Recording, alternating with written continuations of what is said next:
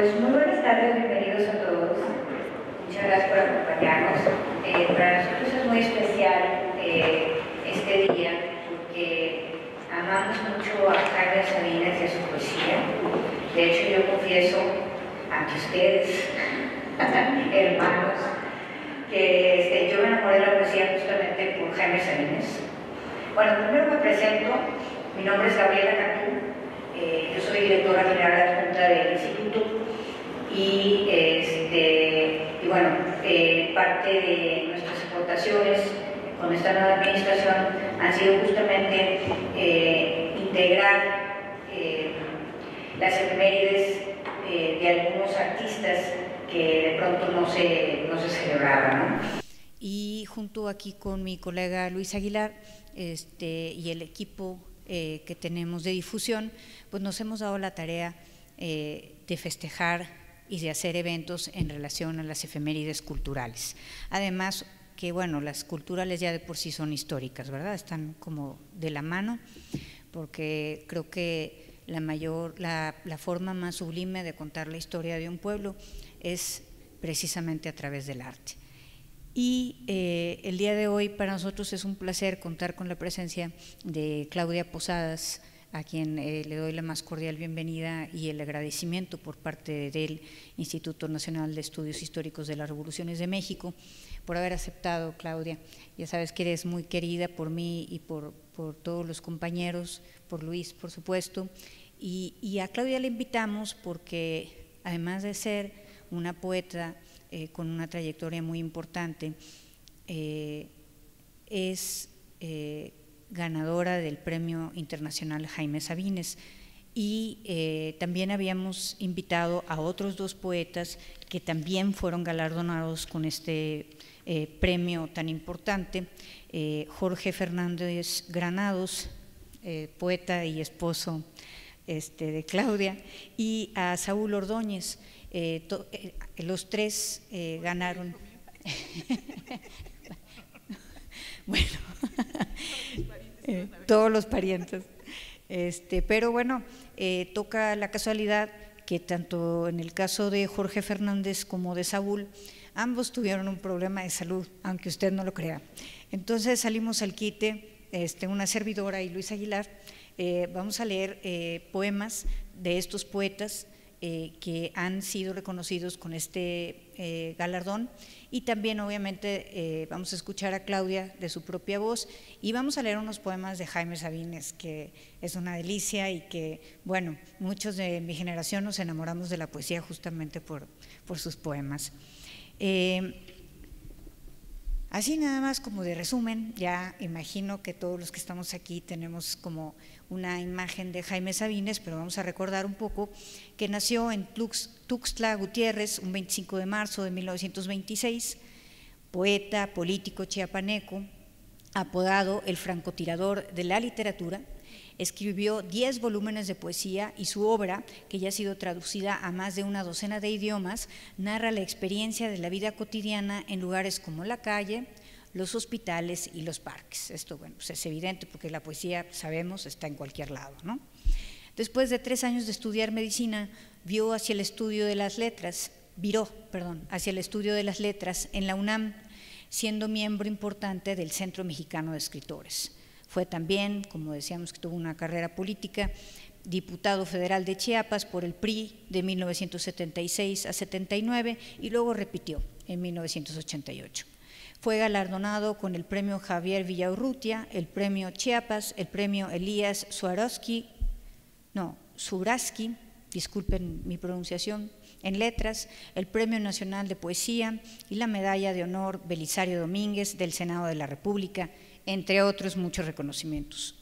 Con varios eventos y encuentros de poesía realizados en su honor durante su vida, Sabines está considerado uno de los grandes poetas mexicanos del siglo XX, sin duda, es quizá el más leído en la historia literaria de México y entre sus obras destacan Espero curarme de ti, La señal, Mal tiempo, Doña Luz, Tarumba y bueno, por supuesto, algo sobre la muerte del mayor Sabines, que según los críticos es, digamos, la cúspide del trabajo poético de Sabines. Pero bueno, ¿quién nos recuerda poemas como Los Amorosos, este, La Luna, este, La Tía Chofi, eh, en fin, hay infinidad de poemas eh, bellísimos y algunos que tuvimos la oportunidad de verlo eh, y escucharlo leyendo alguna vez, pues es una maravilla, ¿no? Y además hay muchísimo material en las redes que podemos, este, que podemos consultar. Le voy a pasar el micrófono a Luis para que nos lea una reseña de Claudia y eh, de nuestros dos eh, poetas que nos acompañan en espíritu y que vamos a leer su obra.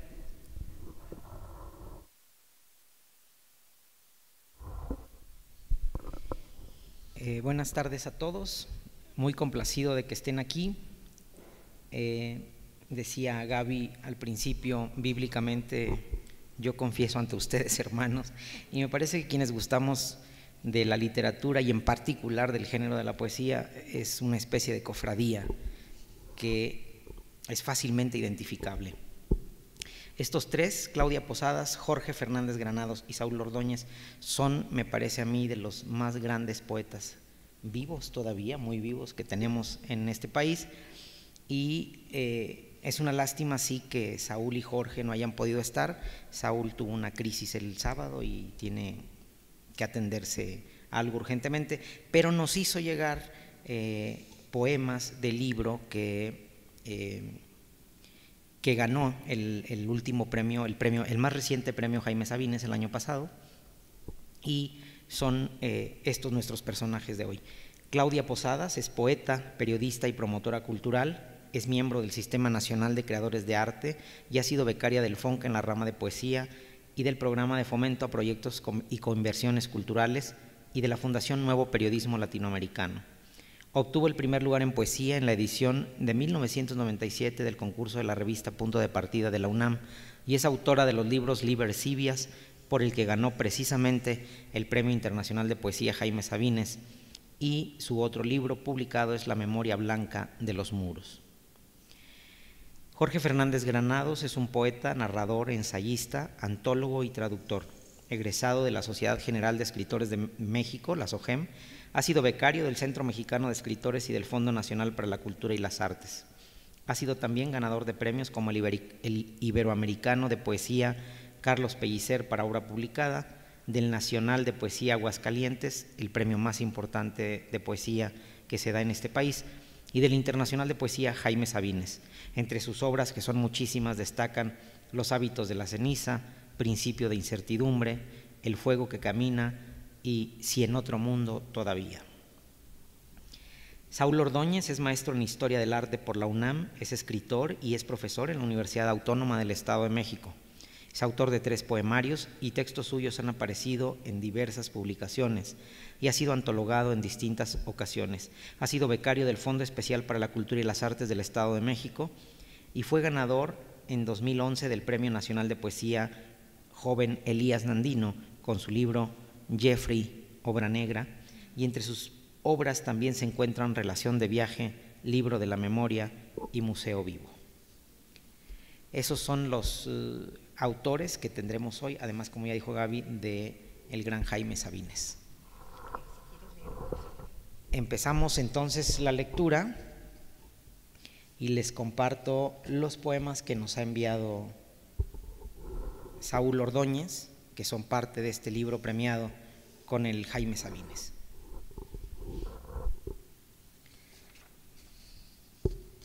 Elegía de Telémaco. Odiseo, Coca-Cola y anfetas para surcar la noche una larga carretera absurda, mente recta, horizonta a Odiseo. Lo aleja de Telémaco, una larga carretera estúpidamente recta, una flecha directa al corazón de Telémaco, este hijo sin padre. Elegía de Edipo. Soy Edipo. Todos conocen mi historia, pero la saben mal. No me cegó la culpa veo claramente, si volviera a nacer entre los hombres con esta luz ganada, mataría a Layo nuevamente y nuevamente engendraría en Yocasta. No se culpe a otro Dios, sino al hado, Dios de Dios, fatalidad que dioses y hombres obedecemos, necesidad. No se puede contra lo que no se puede. Canción de la trinchera.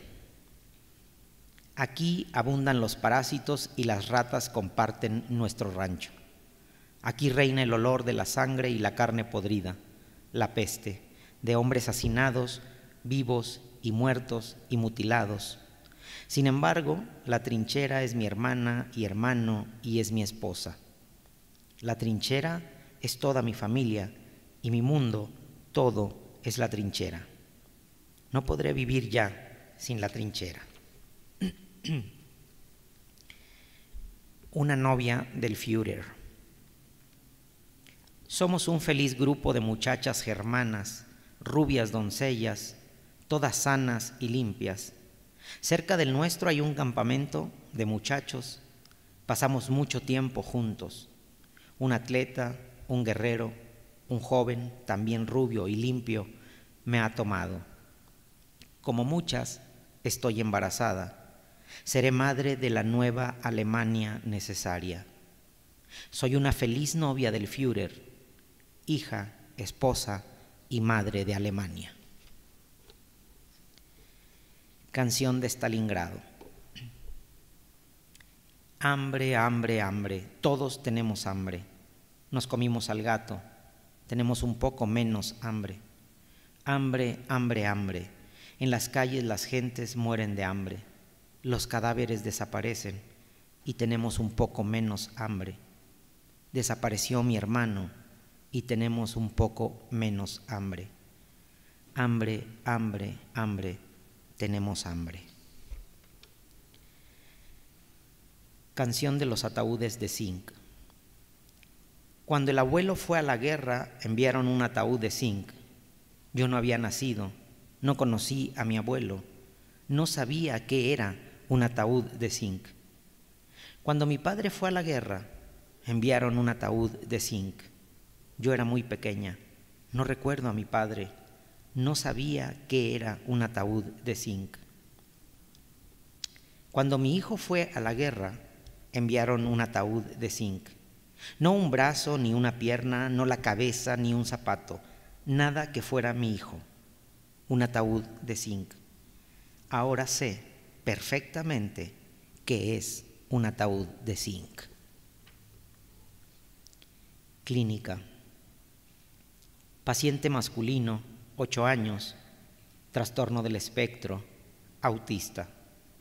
Incapacidad para comunicarse, diarrea continua, desnutrición grave.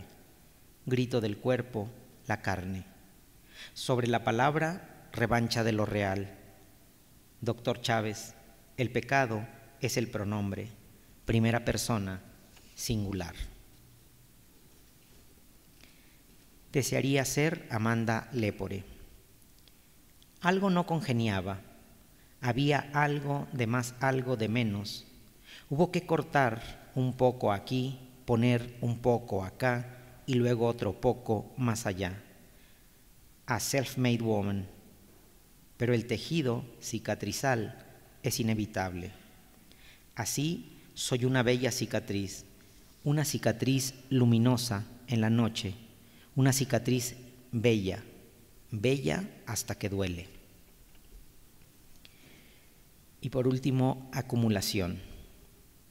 Mamá pierde algo cada día.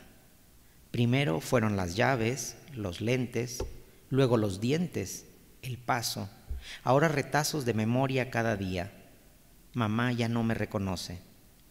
¿Qué quedará de mamá muy, muy pronto?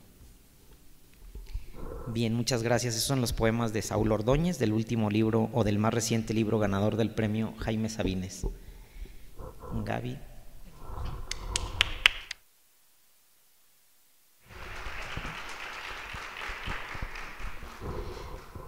Bueno, Claudia nos ha traído este libro, que es un libro que reúne eh, el trabajo de 20 años de premio de poesía Jaime Sabines, en donde bueno, aparece el trabajo eh, además de, Claudia y bueno, el de Saúl todavía no aparece, ¿verdad?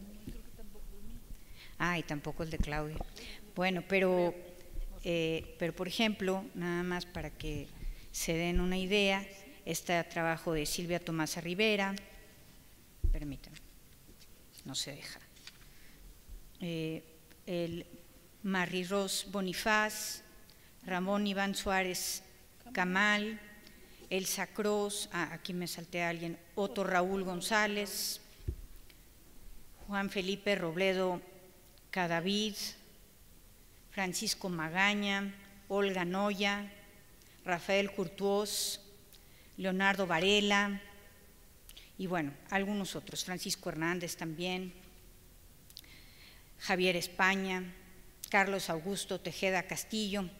Y bueno, voy a dar lectura a los poemas que contienen eh, esta selección. Eh, voy a tratar de hacerle justicia a los poemas de Jorge, no es lo mismo que los lea Jorge, ¿verdad?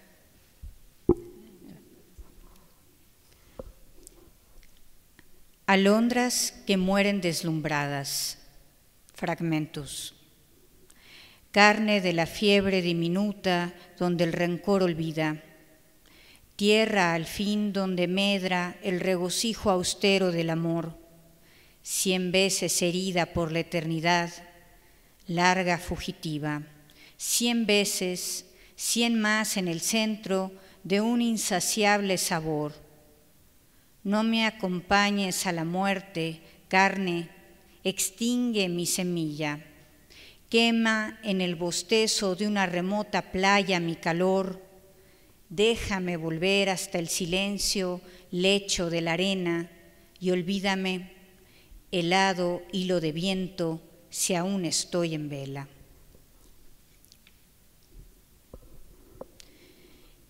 Quizá no hay más amor del que cabe una noche entre las manos. Quizá un hombre y una mujer jamás llegan juntos al cielo. Son el oleaje y musgo que le pega plumas a sus brazos, apenas plumas de furia que se deshacen en el viento. Quizá en el invierno el amor es un lecho mutuo y dos platos, el alma colgada a secar en el balcón de los silencios, donde se roba y se recibe la alegría leche del escarnio. Perdón, la agria leche del escarnio derribados por el gran polvo de la tierra y de los años.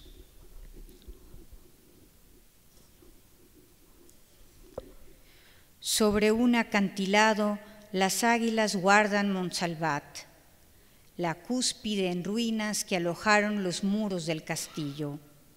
Ahora solo el viento punza la sinfonía del eco y habla contando la leyenda las nieves latinas de los riscos. La luna encumbra su vórtice de emblemas sobre el alcázar y tensa los hilos del telar donde escapa su frío. Junto al pecho, iluminado por la ofrenda de otro regreso, rumbo a la soledad cuya pureza prometía el encuentro.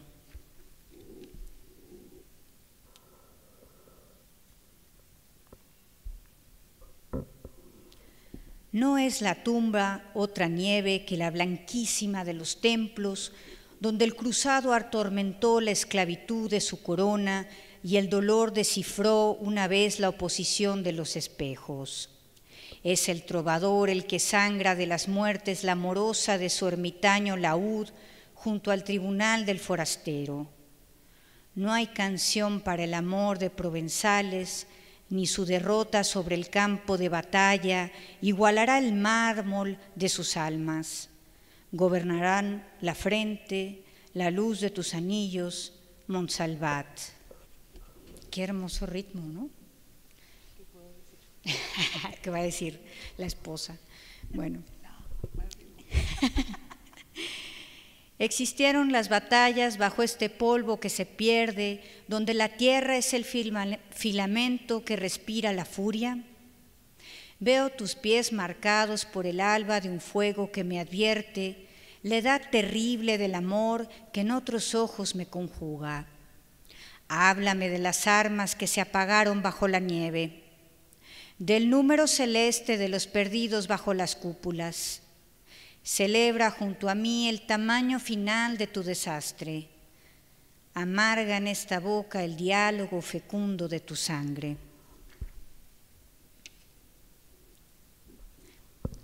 Este es poemas, eh, fragmentos de otro poema. El poema se llama Sentencia de Venablos. Fue sembrada la luz entre los reinos tórridos del alma, bajo la osamenta desollada del árbol en invierno, donde la masada del trueno en el oído no descansa y un brazo de espuma desentraña bajeles en el leño atormentado por el hambre ágil del fuego que se engarza sobre un ejército de noches ante el barro de los muertos, sembrada en el pensamiento vegetal que le, heleniza al sauce con la fruición del agua ante el sol numérico del estanque.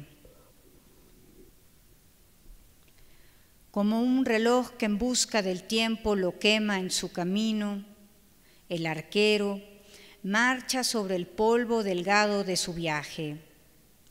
El arte de seguir alude a la inocencia del sentido, arrinconado en el clamor de otra floresta, entre el estanque y la selva moza de estaciones, un jilguero ha caído.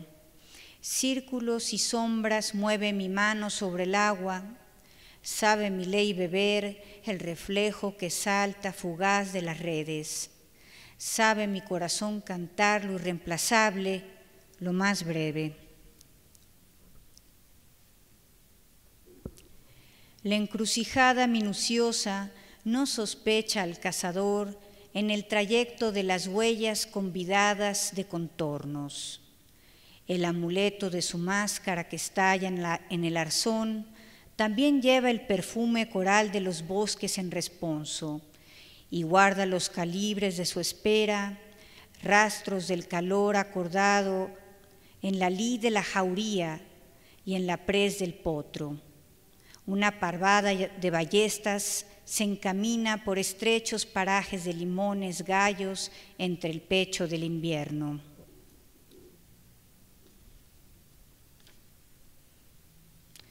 el relámpago y el mar. Fragmentos. Mañana leerán otros ojos su nombre sobre el agua y serán los mismos ojos nuevo el dilema de su polvo. Siempre este mar que todo sueña en un deleite de murallas.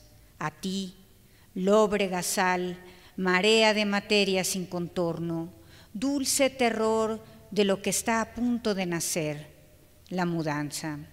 A ti, Señora del mar, descienda un relámpago, el responso, un gramo de la luz bajo tus manos moverá la espuma y un soplo guardará el lugar donde el mar y el cielo se cruzan.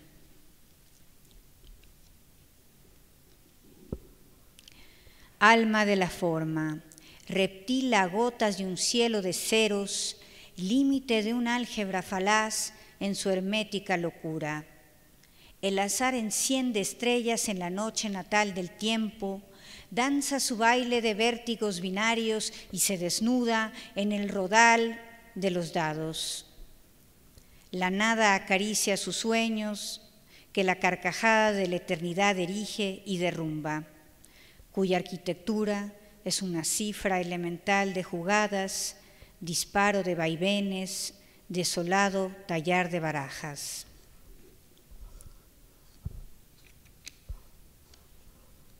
¿Cuántos más son? Ah, está bien. Dios, agazapado en el accidente nómada del fuego, perdón, va de nuevo. Dios, agazapado en el accidente nómada del juego, se disuelve mudo y huraño en su profana contingencia ronda los escondrijos matemáticos y asalta el rezo como un puro duende legendario que ríe sin respuesta. Una anacoreta menor de los desvelos en el vértigo de los químicos vocablos que balbucearon las estrellas. Porque este innumerable ser, sin coordenadas, está ileso de toda dimensión, es una espesa ausencia de silencios. Este es parte del trabajo de Jorge Fernández Granados.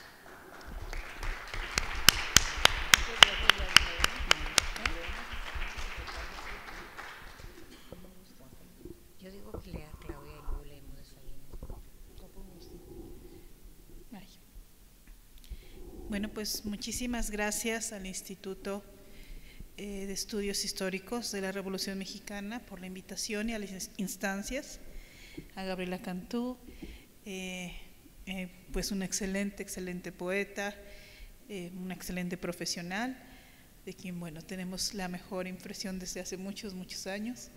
Y bueno, a Luis Aguilar, excelente poeta, gestor. Y bueno, a ustedes que se hayan tomado la molestia de venir aquí a escuchar poemas.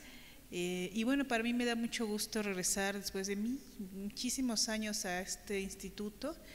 Hace muchísimos años, cuando era reportera, pues, hace añísimos, me tocó venir aquí a entrevistar a, doña Guadalupe eh, Rivera Marín, sí, su directora, que era la directora de aquí o, eh, en ese entonces, la hija de Diego Rivera. Eso tiene muchos años. Había sacado un libro especializado sobre el tema, me acuerdo, pero bueno, pues y me da gusto, ¿no? pues tenía mucho tiempo que yo no entraba aquí al instituto, yo creo que como 20 años o más, algo así. Justamente. más o menos, sí, justamente. Y pues me da gusto. Y bueno, pues agradezco mucho la lectura de los poemas y leeré unos textos, pero voy aquí a, por ellos, no los sabía.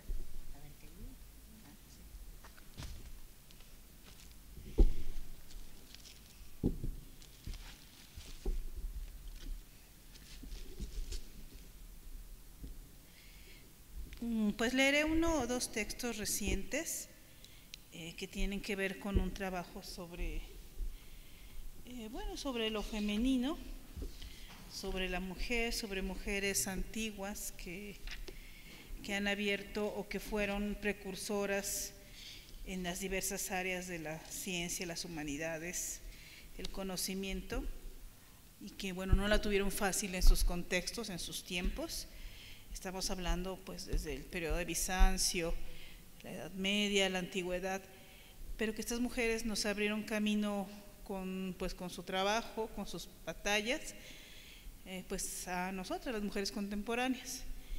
Y bueno, pues está, eh, por ejemplo, Idelgarda Bombín, que no podía faltar, que es una mística medieval alemana del siglo XII, eh, bueno, en ese siglo todavía la mujer tenía cierta, cierta libertad en el sentido que podía, eh, los conocimientos ancestrales, por ejemplo, medicina, botánica, podía ejercerlos.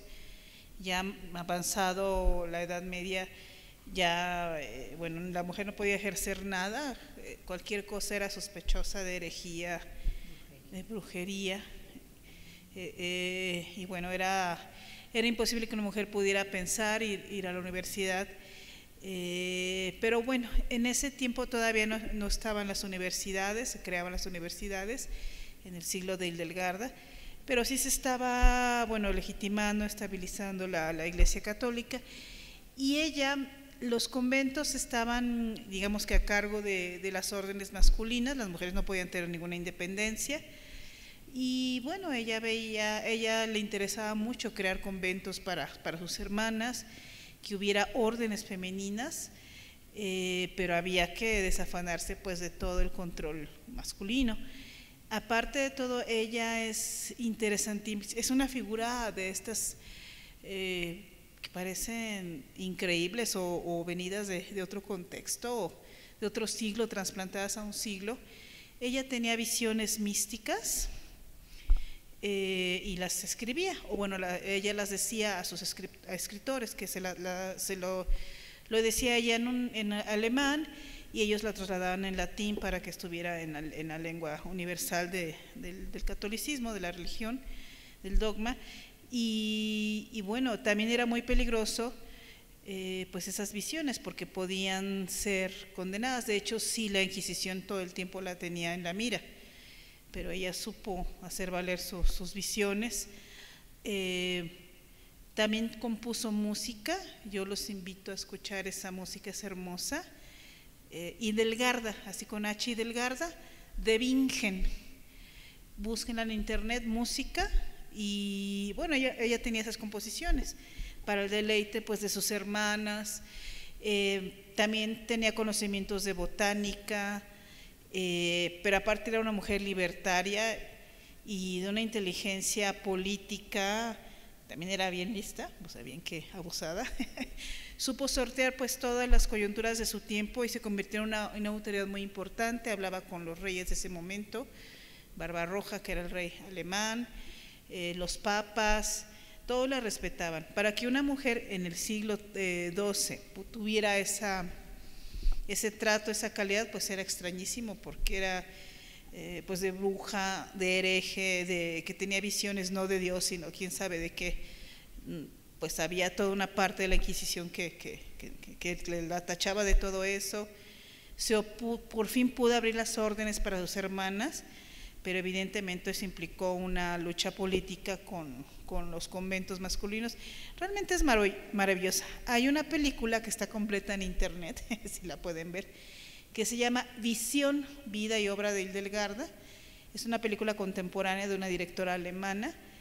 Y bueno, ahí está toda la lucha de, esta maravillosa mujer y, es una película pues muy hermosa como para si algún tienen curiosidad de ver quién fue esta mujer que este, del 13 al, bueno, siglos atrás, pues nos abrió caminos. Entonces leeré un poema como, pues metiéndome un poco en la mente de Hidelgarda, y se llama Visión.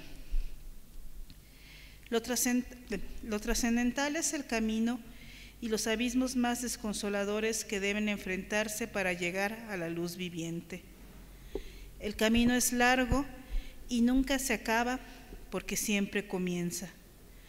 Todo paso es una eterna llegada al umbral, porque nuestro amor es inconstante y decae y perdemos el fulgor. Porque las memorias son capas de espesura, de dolor y de miedo que acechan como demonios el momento de tomar nuestros votos de fe y las certidumbres que nos arraigan al estar para derruirnos. Porque el cuerpo es lábil, podredumbre de podredumbres, porque si no fuésemos triturables larvas, incapaces de nombrar el segundo de rotura o desaparición, no invocaríamos las virtudes, su orden, y en cambio nos ahogaríamos en la hiel que invade a la benignidad, porque nos hundimos una y otra vez en el engaño del mundo.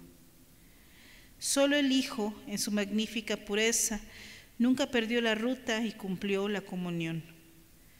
Solo el Hijo conocía la esencia del camino y fue capaz de soportar las pruebas con que recuperaría su estirpe y volviera al Padre. Mis vías se fueron creando en las percepciones luminosas que eran irradiadas en mi ser interior. Mi alma era como un espejo que contemplaba, contemplaba lo que él quería reflejar. Tan solo era un prisma a través del cual él resplandecía mostrándome sus misterios. Los mensajes emanaban de la luz de la fuente viva, emanaban de la fuente viva. Por la gracia divina me entregué a la armonía de la visión. Ofrecí mis actos para cumplir los mandamientos del vislumbre, pese a que mi frágil cuerpo debilitaba mi voluntad. Esa fue mi ordenanza y nunca me dejé vencer por el dolor que todo camino debe cumplir. Juicios o interrogantes sobre mi cordura o sobre la naturaleza divina de mis revelaciones, mi constante enfermedad y agotamiento, pero sobre todo los quebrantos que debí sortear para abrir la primera casa de Dios para mis hermanas. He visto en la hora solar o en el descenso de la tarde o bajo la luna He visto y escuchado, no con los ojos y oídos carnales, ni con los pensamientos de mi corazón, sino con la mirada y oídos del Espíritu, siempre lúcida, con los ojos abiertos, sin la ausencia que lleva consigo el sueño o el éxtasis. He visto incelestibus, en los reinos celestes y no en el mundo material, una luz descendiendo como un líquido áureo sobre las pendientes y los filos de la tierra. Pero en alguna remotísima partícula de mi espíritu, la luz que no tendría significado y por mi vertiente en los discernimientos humanos, halló sentido y forma, halló su voz. Sin embargo, no una voz que pueda ser como el habla que sale de la boca de los hombres, solo ráfaga, centella, nube elevada por el viento. Primero, la luz se manifiesta como una incandescencia y después deviene en signo. Y luego la música. El descenso de la fuente es acompañado por una armonía que me es debido encauzar en notaciones. Esta luz aunque más resplandeciente que el sol ascendiendo entre las nubes, no es más que la sombra de la luz viviente. A veces, cuando a través de la sombra transparece la fuente viva, se dispersa todo cuanto pudiera herirme, todo cuanto pudiera hacerme extraviar el camino, y ya no soy el rostro viejo, sino un gozo puro, la niña absorta en la serenidad del espejo.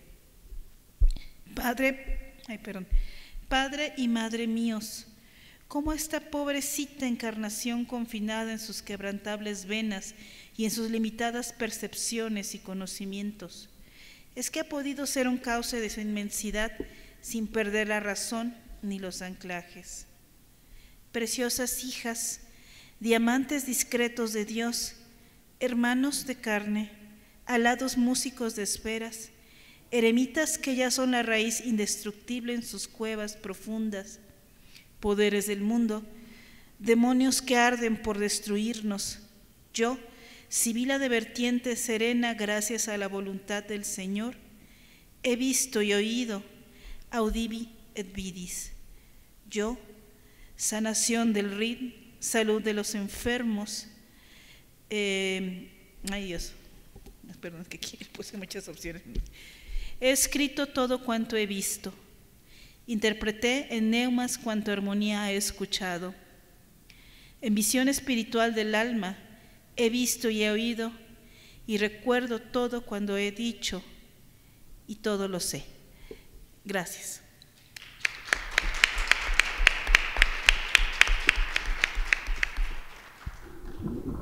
Muchas gracias. Eh, bueno, como ustedes pudieron escuchar, eh, Claudia tiene una vena mística, no mística, de hecho, este, gran parte de, su obra tiene em, e, este imaginario y, esta atmósfera. Eh, se inscribe, digamos, en esta tradición. Además tiene estudios, eh, ensayos, ¿no? Sobre este, esta temática que también que también resulta, no sé si nos quieres platicar un poco sobre eso. No, bueno. Bueno, este, te quería ofrecer más agua porque te estabas tosiendo.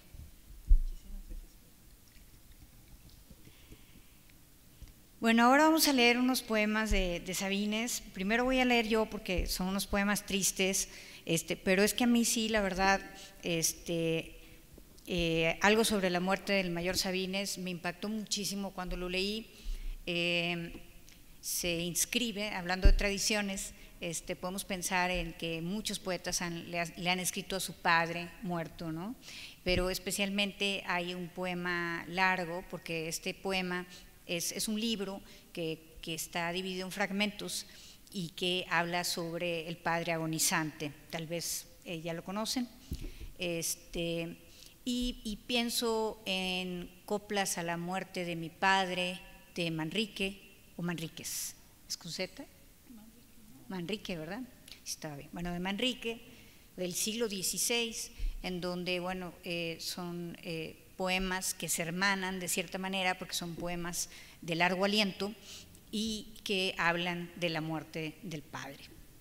Cada uno con, ritmos y con temas muy distintos, ¿verdad? Estamos hablando de el siglo de oro español contra el siglo XX es eh, completamente distinta la métrica, sí, pero la temática al fin son eh, temas universales que siempre están presentes, la muerte, el amor, Eros y Tánatos. Bueno, primera parte. Uno, déjame reposar, aflojar los músculos del corazón y poner a dormitar el alma para poder hablar, para poder recordar estos días los más largos del tiempo. Cuatro, mi padre tiene el ganglio más hermoso del cáncer en la raíz del cuello, sobre la subclavia, tubérculo del bueno de Dios, ampolleta de la buena muerte, y yo mando a la chingada a todos los soles del mundo. 5. Mirando su cadáver en los huesos, que es ahora mi padre, e introduciendo agujas en las escasas venas, tratando de meterle la vida, de soplarle en la boca el aire. 6. Te enterramos ayer. Ayer te enterramos. Te echamos tierra ayer. Quedaste en la tierra ayer. Estás rodeado de tierra desde ayer. Arriba y abajo y a los lados por tus pies y por tu cabeza está la tierra desde ayer. Te metimos en la tierra, te tapamos con tierra ayer perteneces a la tierra desde ayer. Ayer te enterramos en la tierra, ayer. 8. No podrás morir. Debajo de la tierra no podrás morir. Sin agua y sin aire no podrás morir. Sin azúcar, sin leche, sin frijoles, sin carne, sin harina, sin higos, no podrás morir. En tus venas sin sangre no podrás morir en tu pecho vacío no podrás morir, en tu boca sin fuego no podrás morir, en tus ojos sin nadie no podrás morir, en tu carne sin llanto no podrás morir, no podrás morir, no podrás morir, no podrás morir. Enterramos tu traje, tus zapatos, el cáncer, no podrás morir tu silencio enterramos, tu cuerpo con candados, tus canas finas, tu dolor clausurado, no podrás morir. 12. Morir es retirarse, hacerse a un lado, ocultarse un momento, estarse quieto, pasar el aire de una orilla a nado y estar en todas partes en secreto. Apagarse es morir, lento y a prisa, tomar la eternidad como a destajo y repartir el alma en la ceniza. 17. Eras cuando caía, eras mi abismo, cuando me levantaba mi fortaleza. Eras brisa y sudor y cataclismo, y eras el pan caliente sobre la mesa. Y ya nada más tres fragmentos de la segunda parte. Es bellísimo el poema, el que no lo haya leído o si lo quieren volver a leer, es muy fuerte, te golpea muchísimo, pero bueno, a mí me parece muy, muy bello, como decía eh, este poeta alemán, hablando de, alemanes, eh, el de Los Ángeles, Rilke, gracias, eh, decía que, que la belleza era lo que podíamos tolerar de lo terrible, ¿no? Y bueno, pues esto es terriblemente bello, ¿no? Segunda parte. Mientras los niños crecen y las horas nos hablan, tú subterráneamente, lentamente te apagas. Lumbre enterrada y sola, pabilo de la sombra, Veta de horror para el que te escarba. 3. Sigue el mundo su paso, rueda el tiempo y van y vienen máscaras, amanece el dolor un día tras otro, nos rodeamos de amigos y fantasmas, parece a veces que un alambre estira la sangre, que una flor estalla, que el corazón da frutas y el cansancio canta. Por último, este fragmento número 4, pasó el viento. Quedaron de la casa el pozo abierto y la raíz en ruinas, y es en vano llorar, y si golpeas las paredes de Dios Y si te arrancas el pelo o la camisa, nadie te oye jamás, nadie te mira, no vuelve nadie, nada, no retorna el polvo de oro de la vida. Gracias.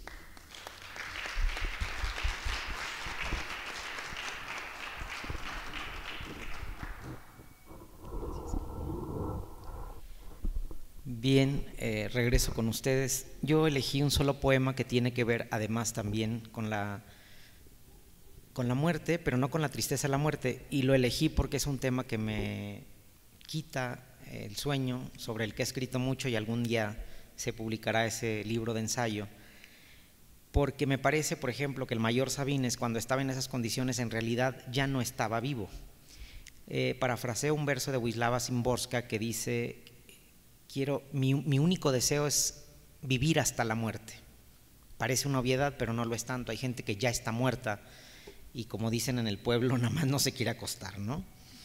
Eh, entonces hay un poema que a mí me conmueve mucho por la forma en que Jaime Sabines aborda precisamente el tema de la muerte. Eh, y yo creo que hay una circunstancia entre los seres queridos, eh, queridos que cuando están en una situación grave, uno desea que se mueran ya, lo más pronto posible. Eh, es un poema muy, muy conocido, probablemente algunos de ustedes ya lo leyeron, que es el poema de la tía Chofi. Amanecí triste el día de tu muerte, tía Chofi, pero esa tarde me fui al cine e hice el amor. Yo no sabía que a cien leguas de aquí estabas muerta con tus setenta años de virgen definitiva, tendida sobre un catre, estúpidamente muerta. Hiciste bien en morirte, tía Chofi, porque no hacías nada, porque nadie te hacía caso, porque desde que murió abuelita, a quien te consagraste, ya no tenías que hacer y a legua se miraba que querías morirte y te aguantabas. Hiciste bien. Yo no quiero elogiarte como acostumbran los arrepentidos, porque te fuiste a tu hora en el lugar preciso y harto sé lo que fuiste, tan corriente, tan simple, pero me he puesto a llorar como una niña porque te moriste. Te siento tan desamparada, tan sola, sin nadie que te ayude a pasar la esquina, sin nadie que te dé un pan.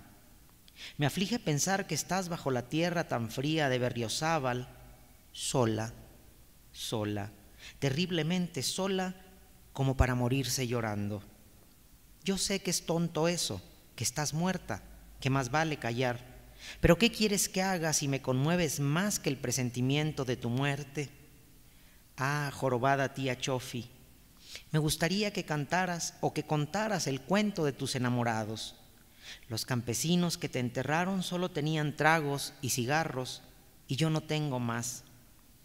Ha de haberse hecho el cielo ahora con tu muerte y un Dios justo y benigno ha de haberte escogido. Nunca ha sido tan real eso en lo que tú creíste. Tan miserable fuiste que te pasaste dando tu vida a todos. Pedías para dar, desvalida. Y no tenías el gesto agrio de las solteronas, porque tu virginidad fue como una preñez de muchos hijos. En el medio justo de dos o tres ideas que llenaron tu vida, te repetías incansablemente y eras la misma cosa siempre. Fácil como las flores del campo con que las vecinas regaron tu ataúd. Nunca has estado tan bien como en ese abandono de la muerte. Sofía Virgen, antigua, consagrada, debieron enterrarte de blanco en tus nupcias definitivas.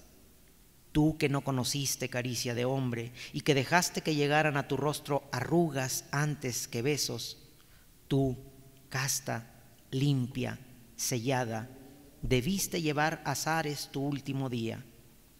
Exijo que los ángeles te tomen y te conduzcan a la morada de los limpios. Sofía Virgen, vaso transparente, cáliz, que la muerte recoja tu cabeza blandamente y que cierre tus ojos con cuidados de madre mientras entona cantos interminables.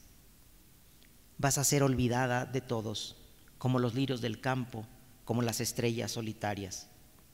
Pero en las mañanas, en la respiración del buey, en el temblor de las plantas, en la mansedumbre de los arroyos, en la nostalgia de las ciudades, serás como la niebla intocable, hálito de Dios que despierta.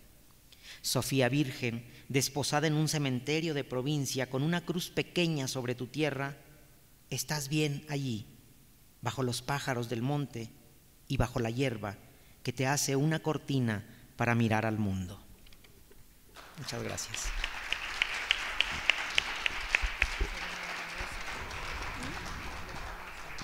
Este, pero uno, uno feliz, ¿no? Uno más. Uno más feliz. Porque, este, pero te lo busco acá. por favor, porque no, no traigo. ¿Qué, qué este- quieres? Este, los amorosos, No, otro. la luna, Pues yo creo que ese porque ya la tanta muerte. ¿cuál? No, de que tanta muerte ya. No queremos morirnos. A ver, Ni recordar cosas. La luna cucharadas. ándale. Ese. Poema. ¿Ya lo tienes? Sí. Ah, es muy bonito. Ese es muy lindo. Aunque fíjate, ¿eh? no se va a escapar, no se va a escapar de pronunciar la muerte, vas a ver. Seguramente porque sí era muy este muy así. Sí. Aquí está. Este es La Luna de Jaime Sabines. Querido Jaime Sabines, la luna se puede tomar a cucharadas o como una cápsula cada dos horas. Es buena como hipnótico y sedante y también alivia a los que, han, a los que se han intoxicado de filosofía. Un pedazo de luna en el bolsillo es mejor amuleto que la pata de conejo.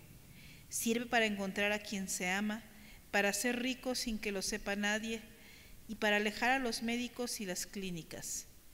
Se puede dar de postre a los niños cuando no se han dormido y unas gotas de luna en los ojos de los ancianos ayudan a bien morir. No, pero falta, falta, falta. Eh, una hoja tierna de la luna debajo de tu almohada y mirarás lo que quieras ver. Lleva siempre un frasquito del aire de la luna para cuando te ahogues y dale la llave de la luna a los presos y a los desencantados. Para los condenados a muerte y para los condenados a vida, no hay mejor estimulante que la luna en dosis precisas y controladas. Ahora sí.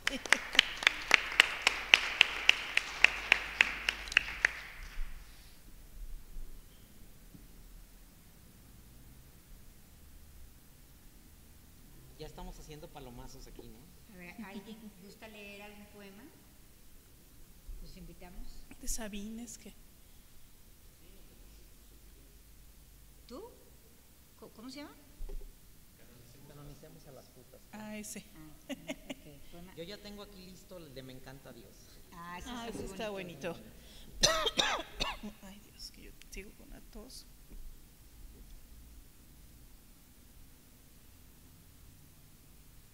¿Lo encontraste, Gaby? En eso estoy. ¿No parece? Ay, sí, sí.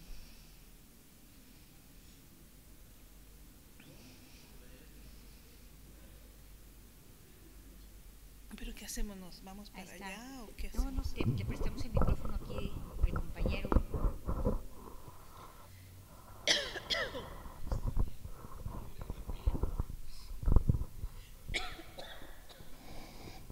Está muy, muy chiquita la letra, no la alcanzo a ver. Estoy muy ciego. No, no, no, no voy a poder leer. No, No. A ver, con otro, con otro, este, ¿cómo se llama? Con otro. Está más grande que ese para acá. Bueno, ve leyendo el de, el de a mí me encanta Dios. Pedestal.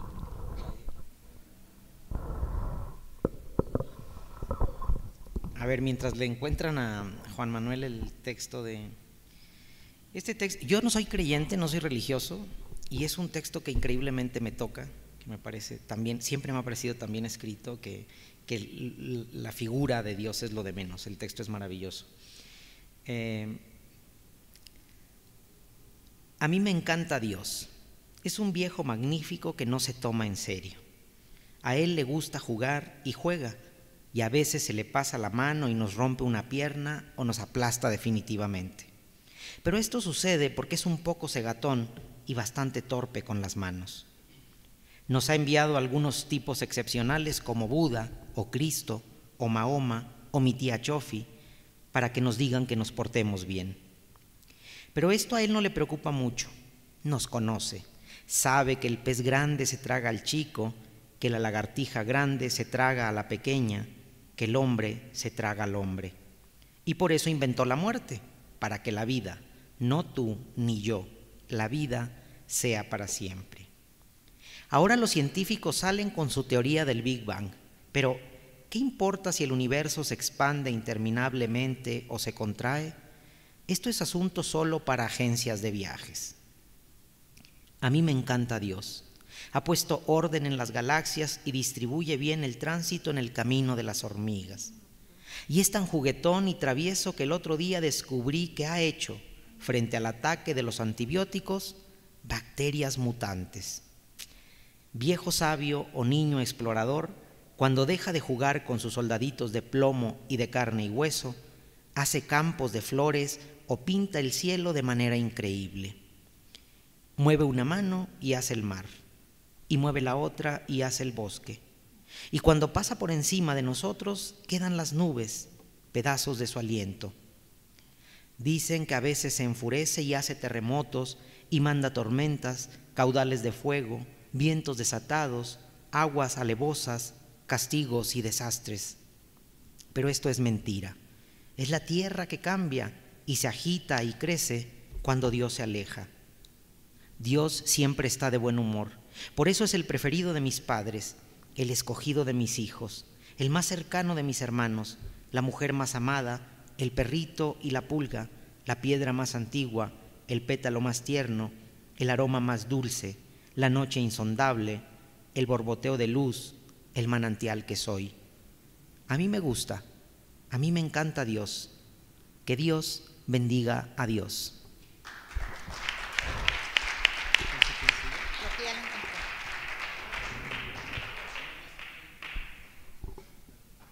Ah, sí. A ver, leo este.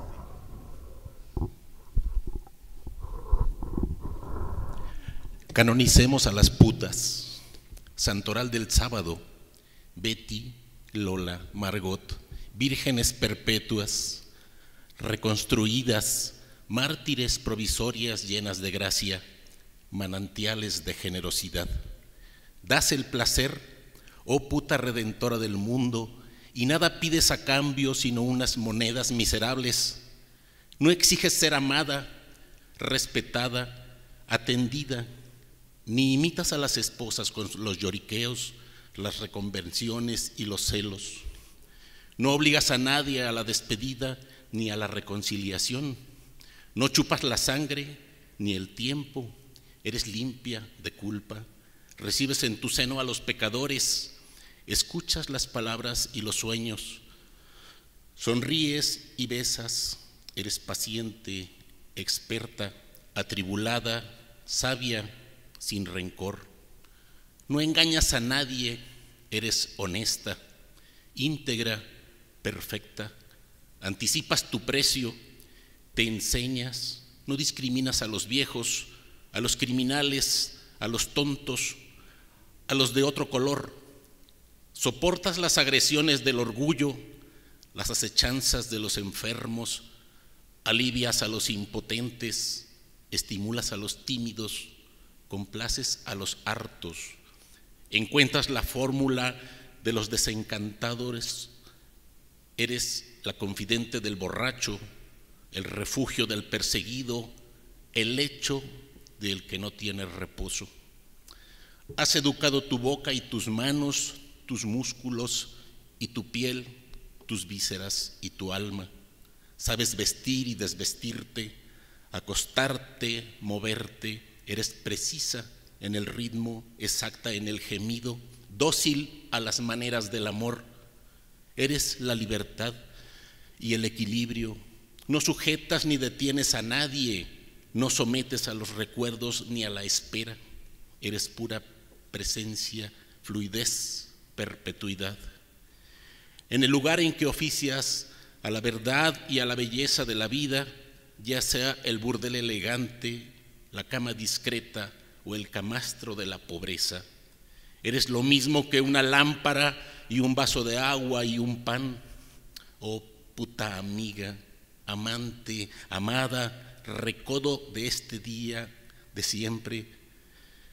Te reconozco, te canonizo a un lado de los hipócritas y los perversos. Te doy todo mi dinero, te corono con hojas de hierba y me dispongo a aprender de ti todo el tiempo.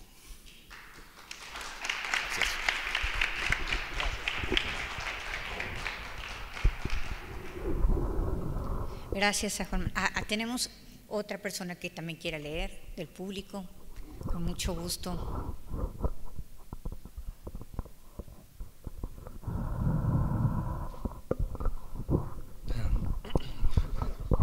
Pues venir y compartir lectura, bueno, la poesía de Jaime Sabines es, es como le hubiera escrito, es un bálsamo. Eh, muchos lo conocimos cuando estábamos en la juventud, en mi caso en la adolescencia, y desde entonces ah, ah, marcó mi vida. Su poesía le dio forma a muchas historias de mi vida. Este poema eh, es uno de ellos. Otra carta. Siempre estás a mi lado y yo te lo agradezco. Cuando la cólera me muerde o cuando estoy triste, untado con el bálsamo de la tristeza como para morirme, apareces distante, intocable, junto a mí. Me miras como a un niño y se me olvida todo y ya solo te quiero alegre, dolorosamente. He pensado en la duración de Dios en la manteca y el azufre de la locura, en todo lo que he podido mirar en mis breves días. Tú eres como la leche del mundo, te conozco, estás siempre a mi lado más que yo mismo. ¿Qué puedo darte sino el cielo? Recuerdo que los poetas han llamado a la luna con mil nombres, medalla, ojo de Dios, globo de plata, moneda de miel, mujer, gota de aire, pero la luna está en el cielo y solo es luna, inagotable, milagrosa como tú.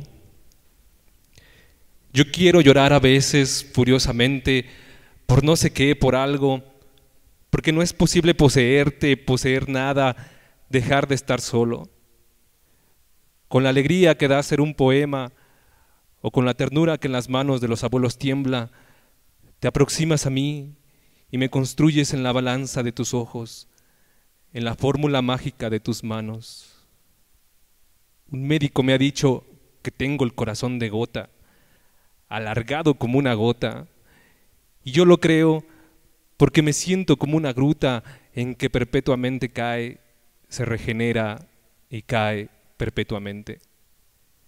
Bendita entre todas las mujeres tú que no estorbas, Tú que estás a la mano como el bastón del ciego, como el carro del paralítico, virgen aún para el que te posee, desconocida siempre para el que te sabe. ¿Qué puedo darte sino el infierno? Desde el oleaje de tu pecho en que naufraga lentamente mi rostro, te miro a ti hacia abajo, hasta la punta de tus pies en que principia el mundo.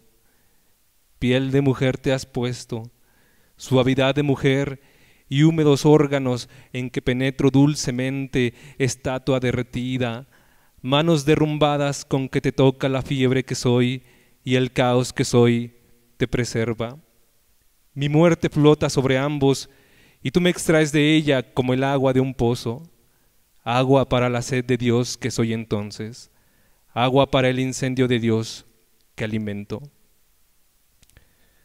Cuando la hora vacía sobreviene, sabes pasar tus dedos como un ungüento, posarlos en los ojos emplumados, reír con la yema de tus dedos. ¿Qué puedo darte ya sino la tierra? Sembrado en el estiércol de los días, miro crecer mi amor como los árboles a que nadie ha trepado y cuya sombra seca la hierba y da fiebre al hombre. Imperfecta, mortal, hija de hombres verdadera. Te usurpo, ya lo sé, diariamente, y tu piedad me usa a todas horas, y me quieres a mí, y yo soy entonces como un hijo nuestro largamente deseado. Quisiera hablar de ti a todas horas en un congreso de sordos, enseñar tu retrato a todos los ciegos que encuentre. Quiero darte a nadie para que vuelvas a mí sin haberte ido. En los parques, en que hay pájaros y un sol en hojas por el suelo, donde se quiere dulcemente a las solteronas que miran a los niños, te deseo, te sueño. Qué nostalgia de ti cuando no estás ausente. Te invito a comer uvas esta tarde o a tomar café si llueve y a estar juntos siempre, siempre hasta la noche.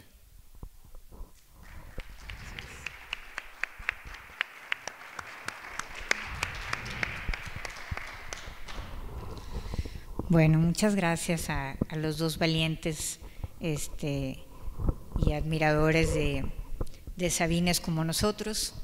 Eh, les agradecemos muchísimo que se hayan dado cita hoy. Eh, es una fiesta leer a Sabines siempre, aunque algunos poemas sean tristes, ¿no?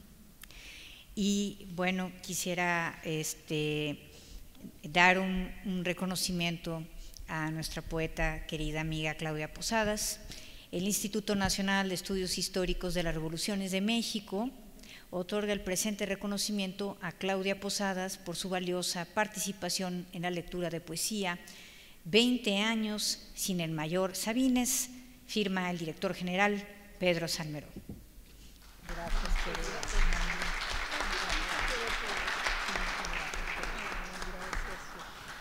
Bueno, tenemos un vino de honor en el patio. Así que los invitamos a todos.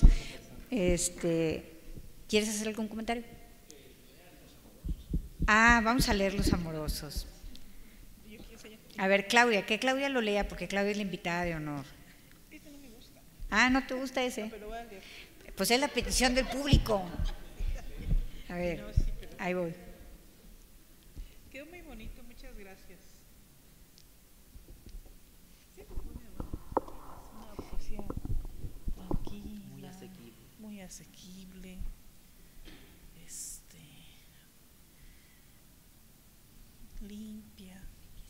Quizá haya que decir que el, aniversario luctuoso de Sabines es el 19 de marzo. Nos pescó a nosotros en un festival de lenguas originarias en, Veracruz y por eso lo pusimos hasta el 27. Pero solo para que tengan el dato, para quien no lo recuerde. Bueno, quiero contar una anécdota con Sabines. Bueno, a ver. Eh, pues a mí sí me tocó conocerlo, bueno, verlo así de lejos. Eh, y también curiosamente, eh, que es bien fuerte porque yo trabajaba en ese entonces cuando falleció don Jaime. Bueno, son dos anécdotas. La primera es la de su muerte, la otra es más alegre. Para em, no, pues nada, nada, simplemente es la extrañeza del tiempo que pasa. Yo trabajaba en la dirección de literatura estaba con, los, con los correctores de estilo, que estamos en una mesa ahí corrigiendo, ahí bien feo. Bueno, em, y una de mis compañeras era Judith Sabines, era su hija. Este, y me acuerdo mucho que de pronto con mucho misterio todo el mundo entraba, salía. Como yo, bueno, en las mañanas hacía ese trabajo, pero en las tardes iba al periódico, pues como que no querían decirle nada a la reportera para que no dijera nada, pero para preservar la, confidencialidad, pues yo evidentemente no hubiera dicho, ni hubiera hablado al periódico, ni hubiera hecho nada, ¿no? Sí me sentí un poco mal porque hicieran eso, pero, pero bueno, em, y me acuerdo mucho de Judith Sabines, muy amable, muy linda, muy sencilla, muy transparente. Y estaba muy triste, pues yo no sabía por qué, veía mucho movimiento. Bueno, seguí mi trabajo, cuando llegué al periódico, pues ya me, me enteré. Pues, en el momento estaba pues, trabajando, no estoy viendo ni, viendo noticias, no estaba uno trabajando. Y pues me da un poquito de, ¿qué será? Eh, de extrañeza que de eso ya tiene 20 años. Qué rápido. Ahora que se oiga muy de lugar común, pero qué rápido pasa el tiempo.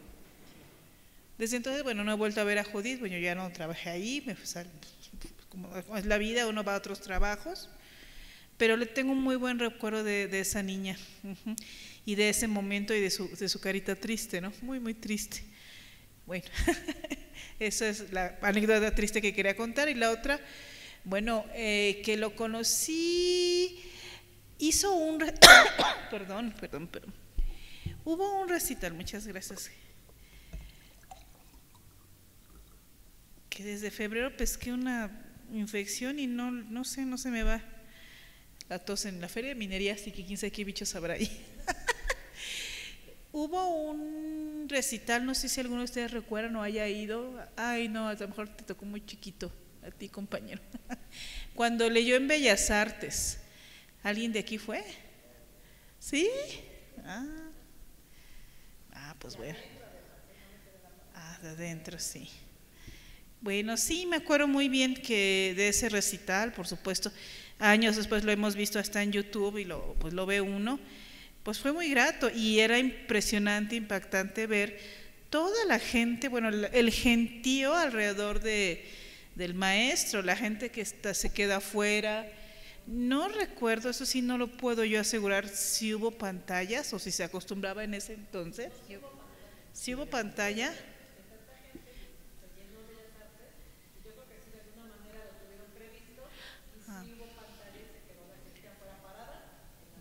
Ah, sí.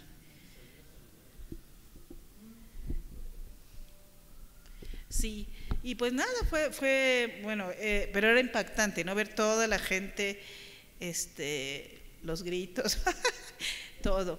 Y ya después hubo, bueno, yo iba de reportera, en, es- en ese entonces, en mis épocas de reportera.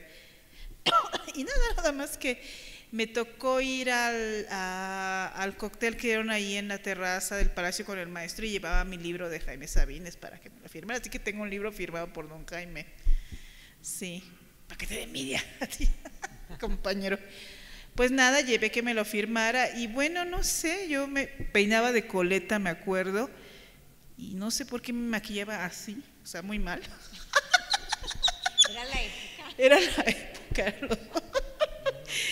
Pero es que tiene que ver porque en ese momento estaba de moda, por si es una anécdota muy divertida para que vean también cómo era.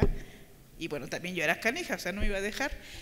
Eh, y bueno, sí con mi maquillaje así, desde entonces no me he vuelto a maquillar así.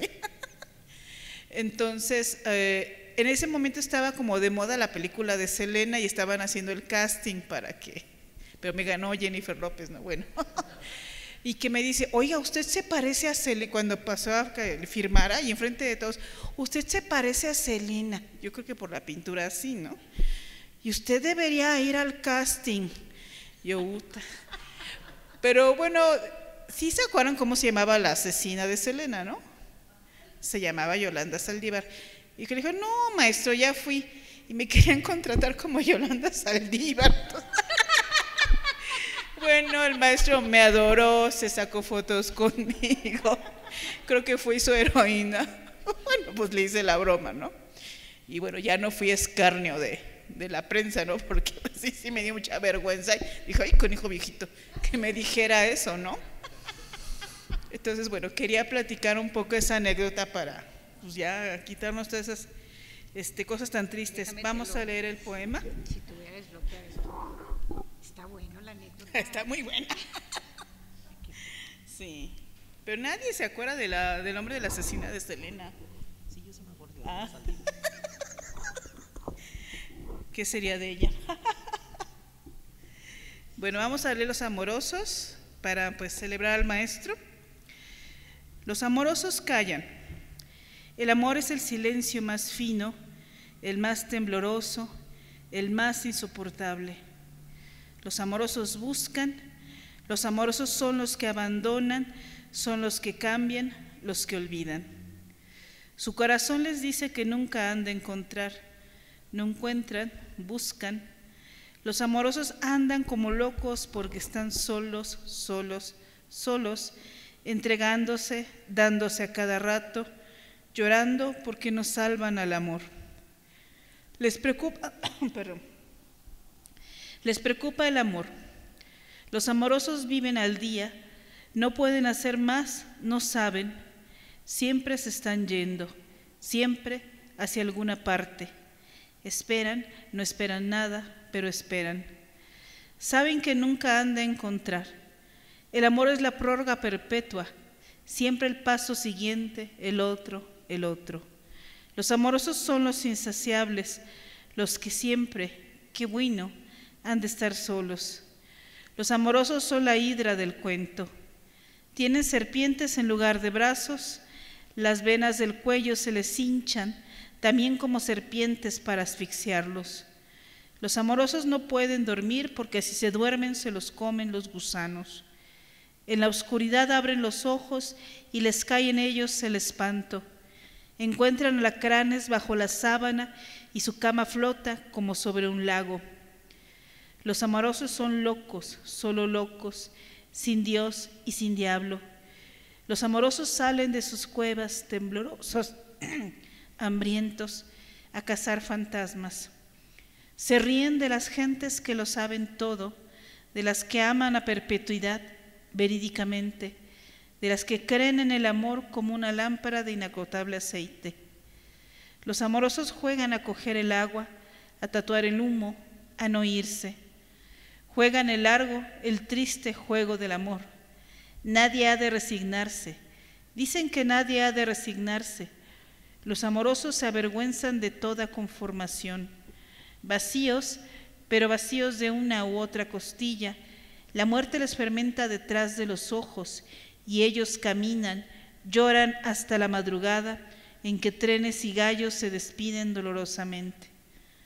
Les llega a veces un olor a tierra recién nacida, a mujeres que duermen con la mano en el sexo, complacidas, a arroyos de agua tierna y a cocinas. Los amorosos se ponen a cantar entre labios una canción no aprendida y se van llorando, llorando la hermosa vida.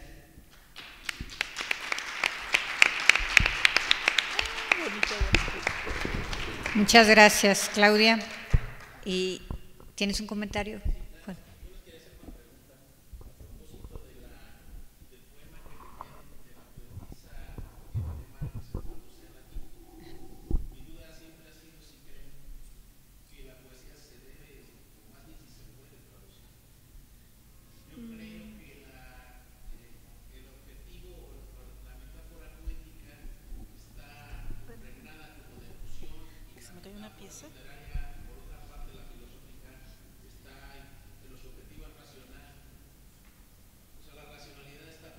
Es que no es una traducción.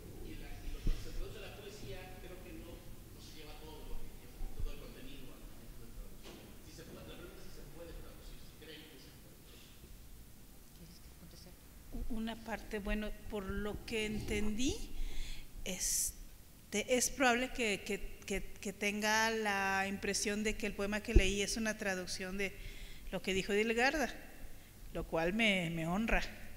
No, ese poema es de mi ronco pecho, como si yo fuera Indelgarda, por eso me honra. Y en cuanto a la traducción, pues eh, sí hay mucho, es muy complejo desde los ritmos, la música, ciertas intenciones eh, estéticas del poeta, lo que se dice, los contenidos, trasladarlo a otro idioma, pero pues es la batalla de, todos los días. No, no, sé, Luis ha sido traductor de poesía en portugués, eh, Gaby has hecho ejercicios de traducción, entonces yo creo que ellos en inglés, entonces ellos nos podrán dar más, eh, ¿cómo se dirá? Este, fe, razón, y bueno, gracias, que halago. Bueno, eh, definitivamente que en la traducción siempre se pierde algo, pero en algunas ocasiones se gana algo, ¿no? El traductor siempre está eh, tomando decisiones de cuál es la palabra más adecuada de acuerdo a lo que el texto original, entonces siempre se está debatiendo entre serle fiel al texto o serle fiel al idioma al que está traduciendo, ¿no?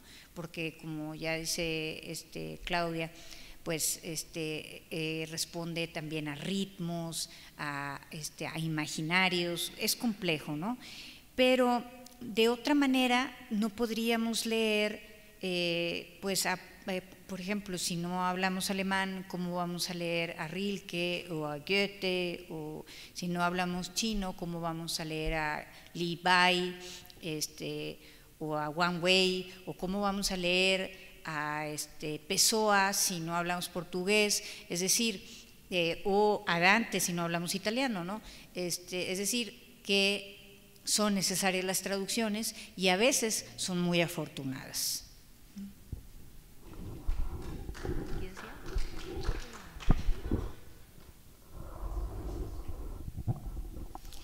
Gracias. Yo, yo creo, hay, hay una corriente muy marcada a partir de la, digamos, del surgimiento de Paz como el gran intelectual mexicano, que optó por las versiones. A mí las versiones nunca me han gustado, me parece que es lo más alejado del, poema, digamos, original. Pero entiendo tu, tu, entiendo tu pregunta en el sentido de la fidelidad al texto, es decir, a lo intelectual o a lo emocional. Yo creo que la, la fidelidad debe estar más hacia lo intelectual, es decir, más a la idea que a la emoción. Y el trabajo del traductor es precisamente eso, darle a la intelectualidad de la comprensión del poema en el lenguaje al que está traduciendo la emoción que necesita. Eh, porque a final de cuentas las emociones, todo el mundo dice que las emociones son una, sí, son la misma. Eh, la emoción del amor, el enamoramiento, la emoción, la tristeza, son las mismas emociones, pero la vuelca una cultura determinada de una manera distinta. Entonces hay que traerlo lo más próximo posible.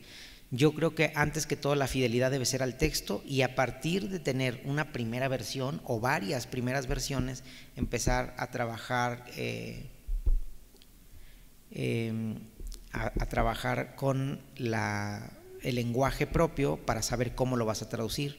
Uno de mis, de mis últimos tropezones o complicaciones, porque todavía no está resuelto, es, eh, sigo traduciendo la obra completa de Roberto Piva, un poeta brasileño muy importante, de Roberto Piva.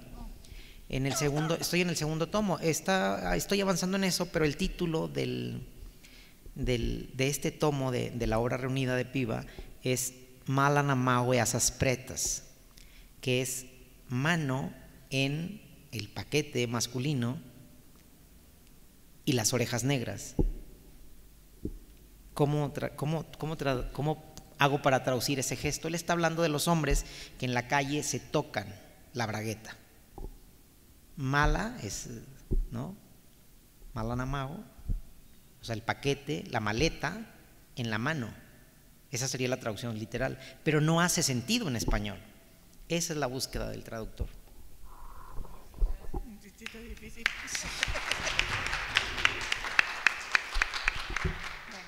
Bueno, los invitamos a pasar al, al vino. Al vino.